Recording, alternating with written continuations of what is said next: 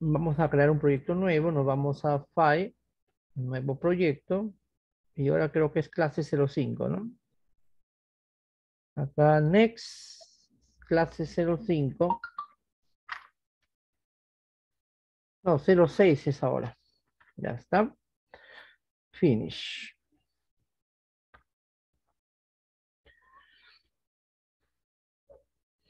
Bien, acá estamos. Eh, vamos a cerrar todo esto para ordenar. Ahí está.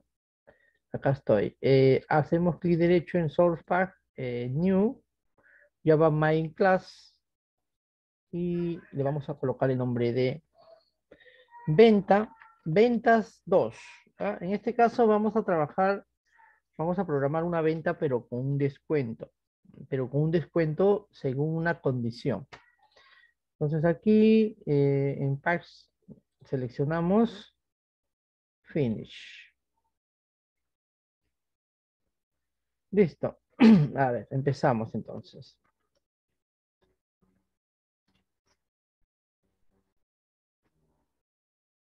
Mm, lo primero que hay que hacer es llamar a la librería de Scanner, ¿no? Scanner, Scanner, el nombre de la variable, vamos a darle datos eh, igual a new,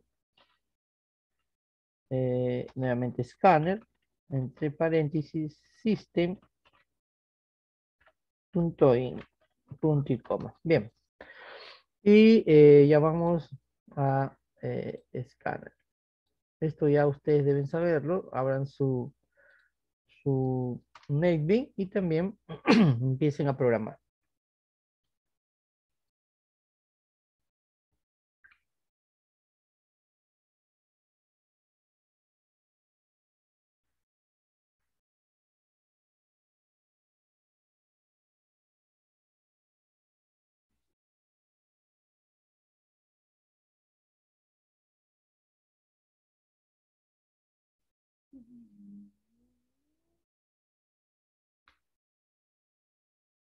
Listo.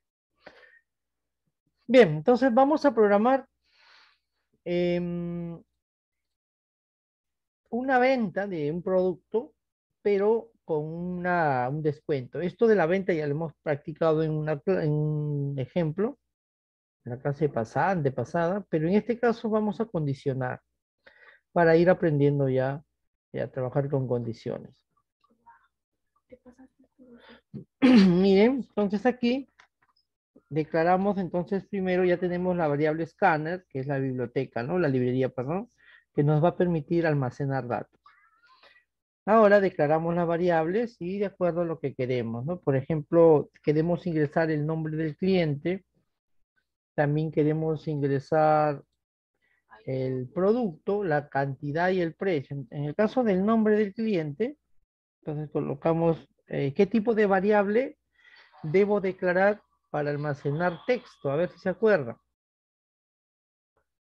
¿Cuál es el tipo de variable que debo utilizar para almacenar textos?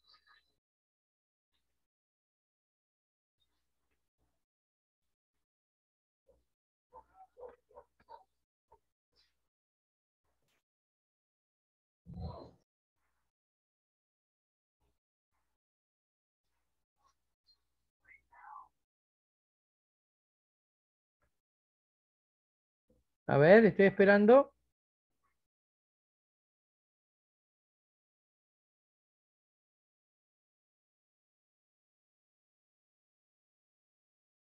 A ver, jóvenes, ¿cuál es el, si yo quiero almacenar textos, por ejemplo, el nombre de la persona y el producto, son textos, ¿qué tipo de variable? ¿Qué variable? ¿Cómo se llama ese tipo de variable que debo declarar?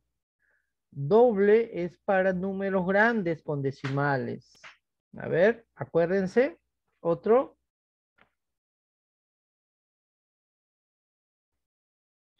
Deben apuntar. Ustedes no apuntan, por eso es que de, de, de un día para otro se olvidaron todo lo explicado. Como son nuevos en programación, se olvidan rápido. Traten de apuntar. A ver, alguien. ¿Qué dice Jimmy? Hilmer. Estefano. Joao, ¿qué dice? A ver, ¿qué tipo de variable debo declarar si yo deseo almacenar un nombre y un nombre del producto? O sea, son tipo texto.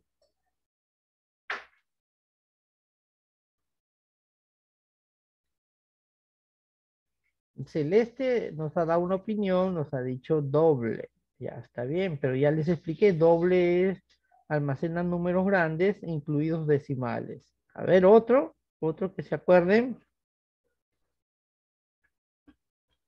Estoy esperando, depende de ustedes, avanzamos, porque ya deben ustedes participar, deben saber. No sean como robots que solo copian lo que uno hace y ya está. También analicen, piensen lo que estamos haciendo, analícenlo. A ver, ¿cuál es el tipo de dato que debo utilizar? Fácil, ustedes pueden entrar a Google y colocan ahí tipos de datos de Java y ahí pueden sacar, ¿no? Pero ni eso creo que hacen, a ver. Necesito esa información.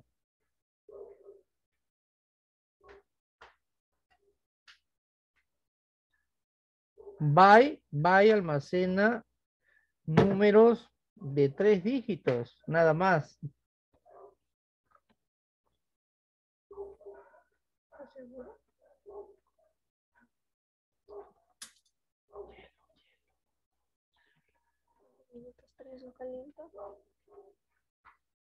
Short, número corto. Short significa, ¿short qué es? Un short es un short, pues, ¿no? Es corto. También almacena números cortos. A ver, bueno, ya han dado su... Next line no es un tipo de dato. Next line no es un tipo de dato. Eh, a ver, les voy a ayudar. Se llama string. String es un tipo de dato para almacenar textos. Anoten, por favor. Em, de ahí vamos a colocar, por ejemplo, cliente, así se llama la variable, y producto, product, ¿no? Punto y coma. Ahí tenemos dos variables de tipo texto. Anoten, por favor. Ahora, quiero almacenar la cantidad y el precio del producto. ¿Qué tipo de dato? String, nada más. Así se llama el tipo de dato, string. Ahora, estos nombres, cliente, product, esos son variables que tú puedes darle el nombre que tú desees. Ahora, si yo quiero almacenar la cantidad y el precio, ¿qué tipo de dato debo declarar? Esto ya lo hemos hecho en una oportunidad.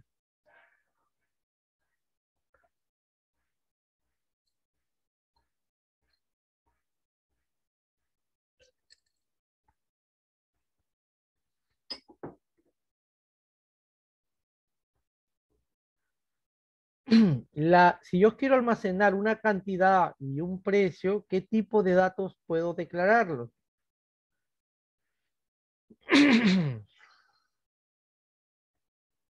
Jóvenes, a ver. Esto lo hicimos en una primera clase. Por acá lo tengo, miren. Clase 1, acá está. Aquí está, eh, está, este no es, creo que fue en la clase 2.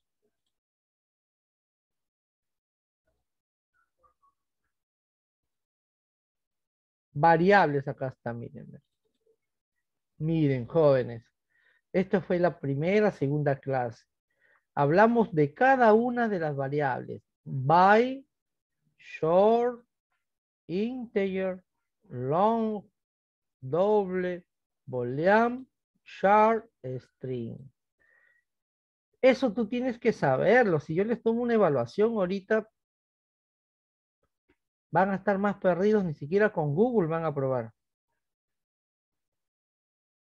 Eso ya deben saberlo, tienen que anotar. Esto por eso hicimos primerito, para saber los tipos de variables que uno debe declarar. Los tipos de variables son tipos. El nombre de la variable es el nombre de la variable que puede ser cualquier nombre. ¿no? Acá tenemos un ejemplo que acabamos de hacer. String es el tipo de variable cliente, product, son los nombres de las variables que van a almacenar ese tipo de dato, que es el tipo de dato texto. String almacena texto. Ahora, deseo almacenar una, un precio y una cantidad. ¿Qué tipo de variable debo usar?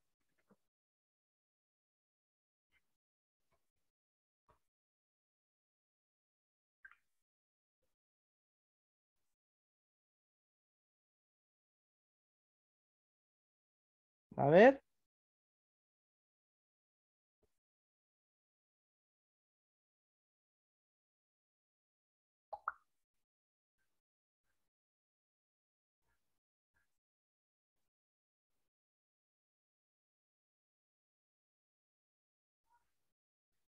Nada. No voy a avanzar hasta que ustedes me den respuesta, ¿verdad? Para almacenar, por ejemplo, un número, un precio, una cantidad, ¿qué tipo de variable? NL.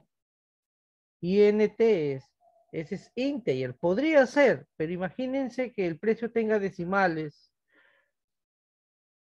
Entonces, si yo eh, me doy cuenta que los datos que yo voy a ingresar tienen decimales, INT es para enteros. Ahí no podría yo ingresar decimales. Entonces, acá podríamos utilizar el doble, el doble. ¿Por qué doble? Porque este tipo de, de dato me permite almacenar números con decimales. Eso también se los expliqué. ¿Ya? Aquí también está en, en, varios ejemplos ya les he explicado eso y uno de ellos es aquí en las variables, miren. Acá está doble. Es un almacena datos grandes, números grandes con decimales. Ese es el ejemplo. Entonces, si yo voy a almacenar un precio y yo sé que en ese precio puede que haya decimales, entonces también ahí es donde utilizo ese tipo de datos. Ahora, el nombre de las variables pueden ser cualquiera, por ejemplo, cantidad, puede ser can, puede ser cantidad, lo que tú quieras, ¿no? Ese es el nombre de la variable. Y el otro, en el caso del precio, precio, por ejemplo. Ahora, eh, para poder almacenar también eh, el importe, el descuento y el importe a pagar, también los puedo declarar aquí mismo.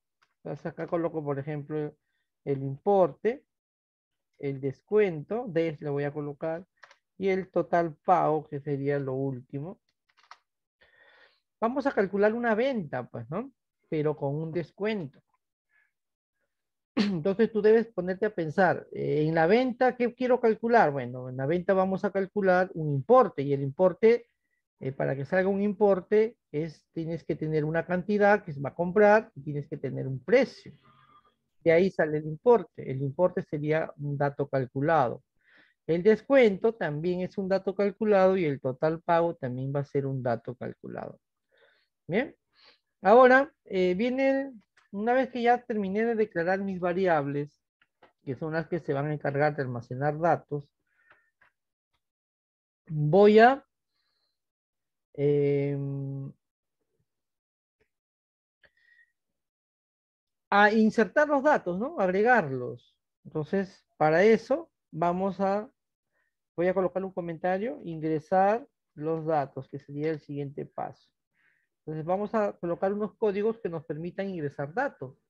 Por ejemplo, eh, el system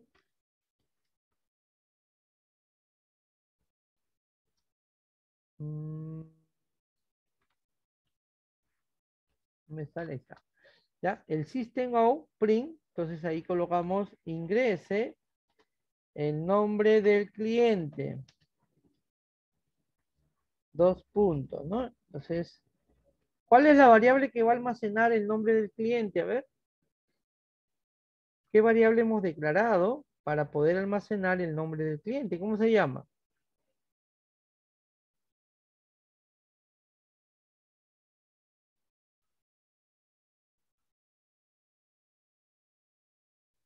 Cómo se llama la variable que vamos a utilizar para almacenar al cliente. Lo acabamos de declarar hace un momentito.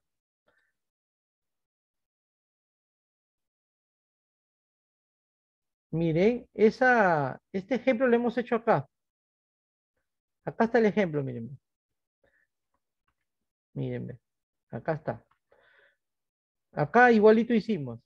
Declaramos cliente y producto. En doble eh, declaramos cantidad, precio, descuento, importe y nuevo importe. ¿Ya? Todo hemos hecho ya, lo estoy volviendo a repetir. En este caso lo único que va a cambiar es eh, la condición, que vamos a aprender ya a trabajar con condiciones. ¿Ya? Eh, es igual, la variable que va a almacenar al cliente es cliente. String es el tipo de dato, no se confunda. Una cosa es tipo de dato y otra cosa son las variables. Entonces, la variable que va a almacenar al cliente se llama cliente. Aquí está. Mírenme. Cliente, él es el que va a almacenar. Entonces tú colocas acá cliente, va a ser igual. Ahí colocamos el escáner. ¿Cuál es la variable escáner que me permite almacenar? ¿Cómo se llama? La variable escáner que hemos declarado acá arriba. ¿Cómo se llama? La que me permite almacenar datos. se llama datos. Aquí está, datos. Entonces tú colocas datos, punto, next, en este caso, line, next line. Jóvenes, eso lo hemos hecho la vez pasada, acá está. Miren. Profesor, ¿por qué el next line y no strip? Eh, no existe el next string. Para los tipos textos se utiliza el next line. Acá está, mira, Igualito, miren, que hemos hecho la clase pasada. Dice ahí, ingresa el cliente. Cliente es igual a B. Profesor, ¿por qué B? Porque en este caso lo declaramos como B, la variable escáner. Colocamos B next line, miren. Esto es lo mismo. Por eso digo, no anotan y por eso es que ya borraron cassette. No se acuerdan nada. Entonces, lo estoy haciendo lo mismo, solo que acá voy a agregarle algo más. Lo hago justamente para ver si van aprendiendo y, veo que se olvidaron todo. Entonces, miren, en este caso utilizo datos aquí porque acá le demos datos. Si yo le hubiera puesto B, acá también hubiera usado B. Algo así, ¿no? Bien, y en el caso de los tipos de datos string, no existe el next string, se, utiliza el next line. Bien, luego que viene otro mensaje que diga ingrese el producto. Dos puntos. A ver, ¿cómo se llama la variable que va a almacenar el producto?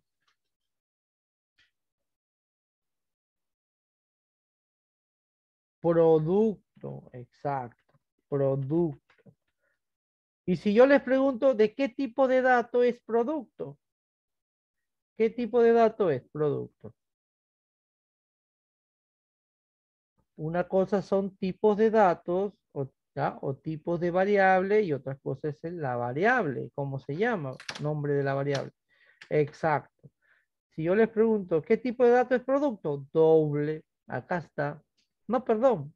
No es doble. Acá está. Es string. Y no se llama producto, se llama product. Miren, Ahí está, miren. Aquí en esta línea está, ¿ven? ¿Cómo se llama la variable que va a almacenar el producto? Produ, así lo hemos declarado en este caso. ¿Qué tipo de dato es la variable produ? String. Eso por lo menos debemos estar aprendiendo. Ahora, colocamos entonces produ, va a ser igual a datos next line también. Next line punto y coma. Listo.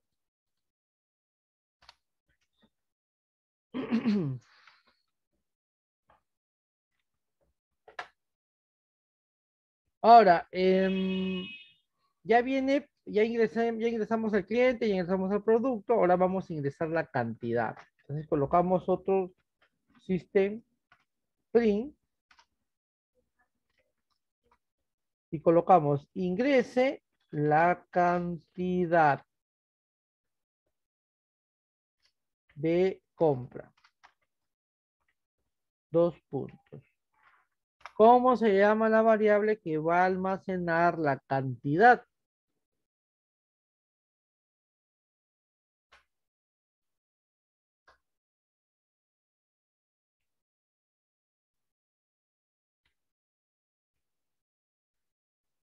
La variable que va a almacenar la cantidad, a ver, chequen.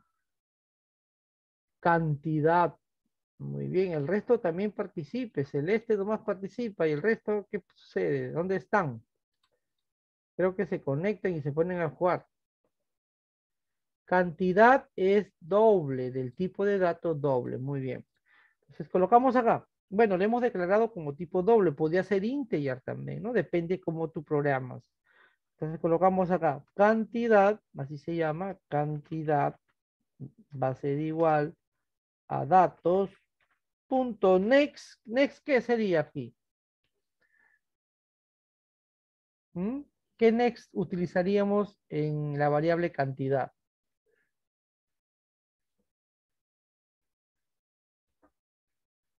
En la variable, por ejemplo, cliente, utilizamos next line. En la variable product, utilizamos next line. Y en la variable cantidad, ¿qué next debo utilizar? Ahí está, mire, todas las listas.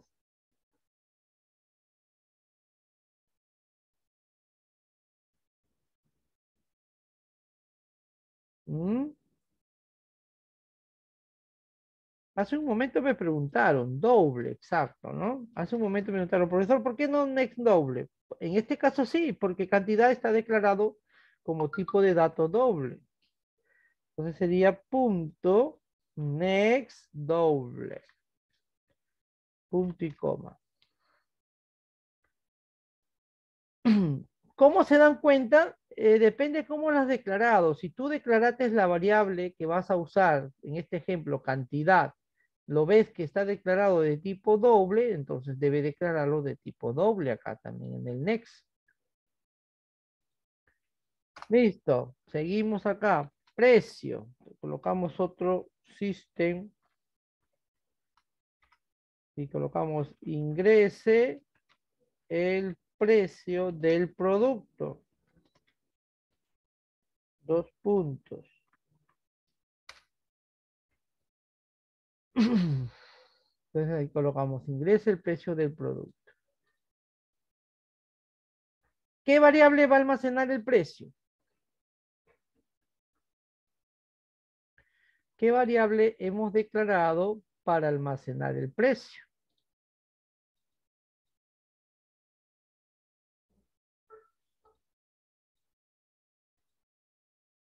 Joao Hilmer, a ver qué dicen. Contesten, por favor. Fabiana, muy bien.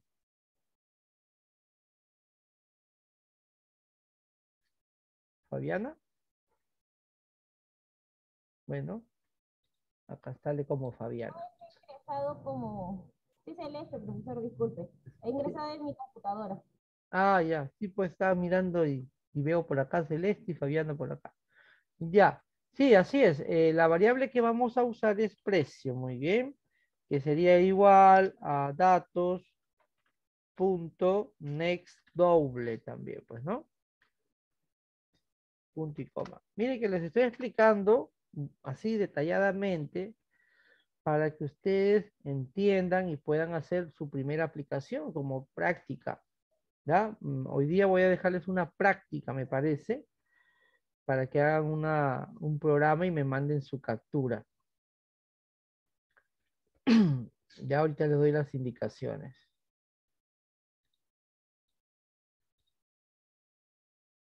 Tienen que ver qué tal les sale. Miren, hemos hecho muchos ejemplos. Algo sencillito nomás. Sin condición, porque ahorita les voy a enseñar cómo se trabaja con, con condición. Ahora, vamos a el importe. Ahora, les pregunto lo siguiente. ¿El importe se ingresa o se debe calcular?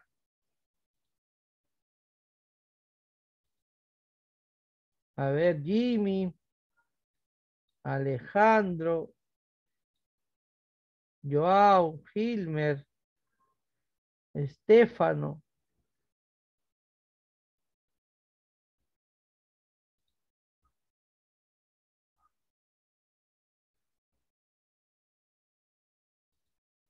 Se calcula. Muy bien. Se debe calcular. Entonces, aquí voy a colocarles un comentario.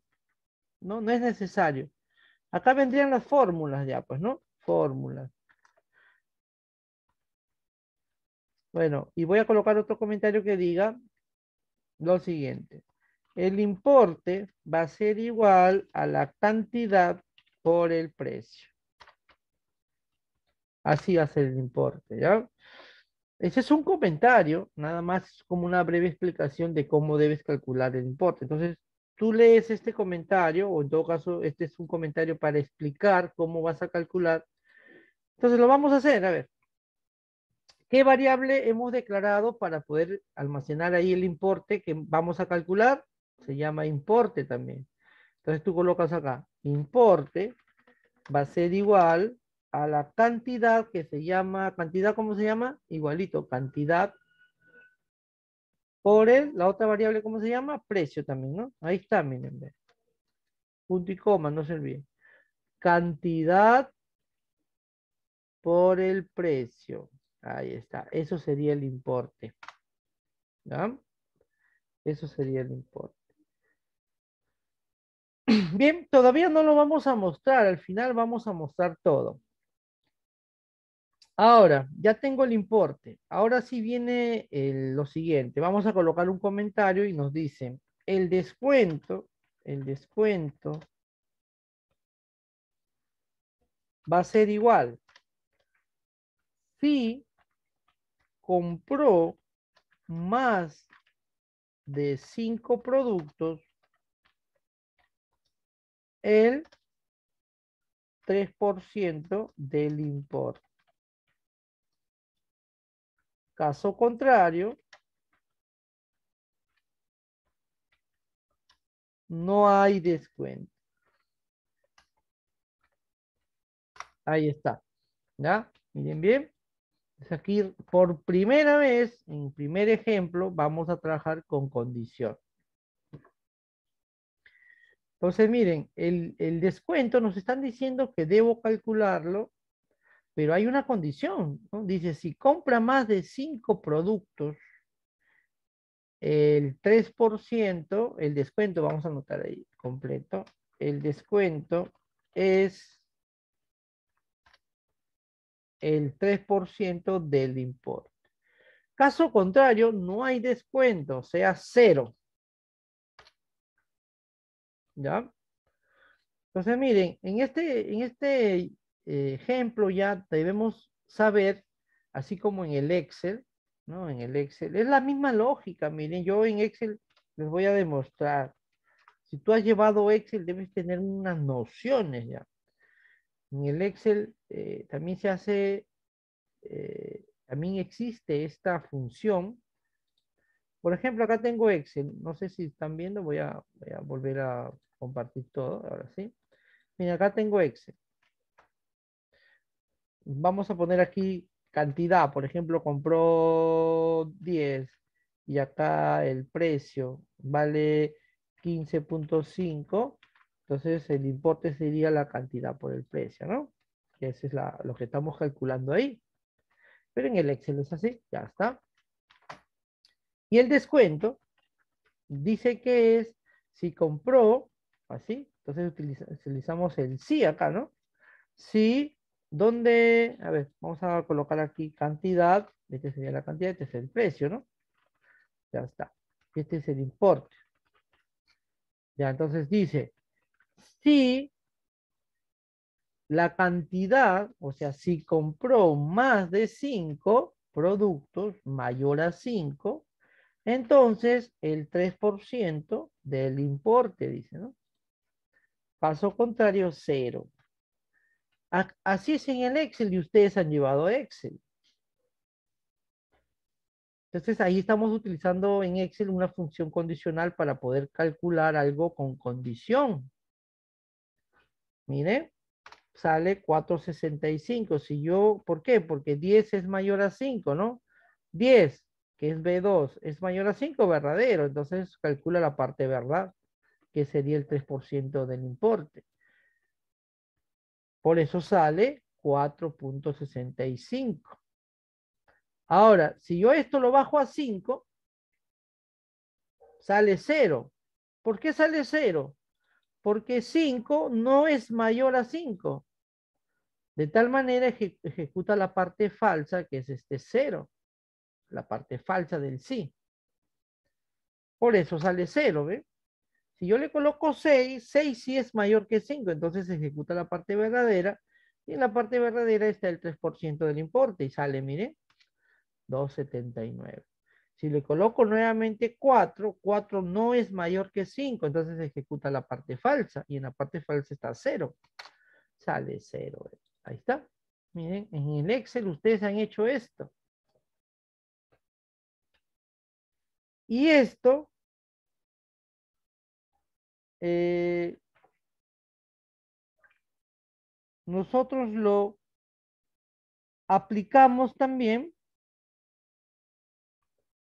lo aplicamos también jóvenes en cualquier lenguaje de programación. Este conocimiento, esta lógica lo podemos llevar a cualquier lenguaje. Por ejemplo, en este, en Visual también lo hemos aplicado. Entonces acá en Java también es bastante parecido. En los lenguajes de programación, la instrucción se llama if, en inglés es sí. Entonces sería así, miren, lo mismo. Miren, sería sí acá en este caso hay que abrir paréntesis. Eso es como decir sí, aquí es if. Sí, la cantidad, porque nos están diciendo si compró más de cinco productos, entonces tendríamos que trabajar con la cantidad, que es la variable que tenemos acá, entonces lo vamos. Si la cantidad es mayor a 5, abrimos el corchete, esto significa entonces, perdón, la llave, la llave, esto significa entonces enter. Entonces, acá viene la parte verdadera. Entonces, en la parte verdadera es lo que tú debes calcular. Dice, si compró más de cinco productos, el descuento es el 3% del importe. Entonces, tenemos que calcular el, descuento. Entonces, colocamos, ¿cómo se llama la variable que va a, va a, almacenar el descuento? Acá está, des. Le hemos declarado como des. Entonces, yo coloco acá, des va a ser igual al importe, ¿no? que es este que tenemos aquí, que contiene el importe, por 0.03. Acá no hay, no hay, este, no podemos colocar así. En ningún lenguaje de programación te acepta esto. ¿ya? Eh, tenemos que colocar el número real, 0.03, así sería. Y acá cierra, en esta llavecita se cierra la parte verdadera. ¿no? Caso contrario, tú acá colocas else y nuevamente abres la llavecita y presionas enter. Este es el caso contrario, la parte falsa del if. Igual como en Excel, en, Excel. Viene la condición, si es mayor a 5, viene la parte verdadera, 3% del importe, y viene la parte falsa, 0. Entonces acá sería la parte falsa es el else. Caso contrario significa else, o de lo contrario, el des, la variable des, que es la que va a almacenar el descuento, va a ser igual a 0, punto y Y ahí finaliza eh, la condición. Bien, ya tenemos el descuento, ¿no? El descuento va a ser eh, de acuerdo a la cantidad. Si la cantidad es mayor a 5, calcula esta fórmula. De lo contrario, si no es mayor a 5, calcula esta fórmula. Entonces ya eh, tenemos el descuento. Ahora eh, vamos a calcular el total a pagar, que es esta variable que lo va a almacenar. El T pago lo hemos declarado. T pago. T pago. Entonces colocamos así. T pago va a ser igual. ¿A qué va a ser igual? ¿Cuál sería el importe al final? A ver. ¿A qué será igual el total pago? Es como si tú vas a una tienda y te dicen, mira, si compras más de cinco productos, te vamos a descontar el 3% de tu importe. Bueno, entonces yo compro eh, seis productos y vale 10 soles, son 60 soles, ¿no? Que yo debo pagar. Pero como la promoción está, si compro más de cinco, entonces me deben costar el 3% de 60, ¿no? Entonces tú le, el- calculas el 3% de 60 soles, que sería un solo 80, creo, ¿no? Así calculando rápidamente. Un solo 80. Entonces, para saber cuánto pagas, ¿qué tienes que hacer? A ver. Tú ibas a pagar 60. Pero eh, te hicieron un descuento del 3% que es un solo 80. ¿Cuánto tienes que pagar ahora? ¿Mm? A ti te dicen, señorita, joven, te ganaste un descuento del 3% porque compraste más de 5 productos. Tú, tu importe es 60, pero como te hemos descontado un solo 80, ¿cuánto debes pagar ahora? La resta, ¿no? Del- de los 60 menos el solo 80. Entonces, el total pago sería la resta del importe menos el descuento, es DES. Ese sería el total pago. ¿ya? DES es sin la C. ¿Así? Ese es el total pago, pues, ¿no? Estamos restando el importe que ibas a pagar, que está aquí. Este es lo que tú vas a pagar, pero como hay un descuento de acuerdo a la cantidad que compraste, y se ha calculado el descuento aquí o acá, cualquiera de los dos te va a salir, de acuerdo a lo que, la cantidad que compraste. Entonces, el total pago sería el importe menos el descuento que te salga, ¿no? Y ahora sí, jóvenes, vamos a mostrar los resultados. Mostrar resultados. Hasta ahí, si yo ejecuto, no sale nada.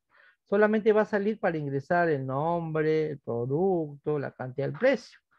Pero no muestra nada, solo está calculado. Hay que mostrar los resultados. Y para mostrar resultados, eh, bueno, vamos a regresar en breve, ¿ya? Voy a enviarles esta captura para que ustedes, bueno, este código ya está un poco largo, los voy a enviar en dos partes. Acá hay una. Les envío para que lo analicen, no para que lo tengan ahí como, como adorno. ¿Ya? Y esta es la segunda captura.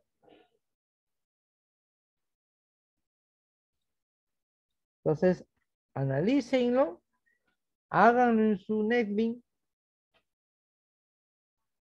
para que ustedes puedan eh, aprender también. Regresamos en breve entonces y ahí vamos a hacer ya la parte de mostrar los resultados. Regresamos.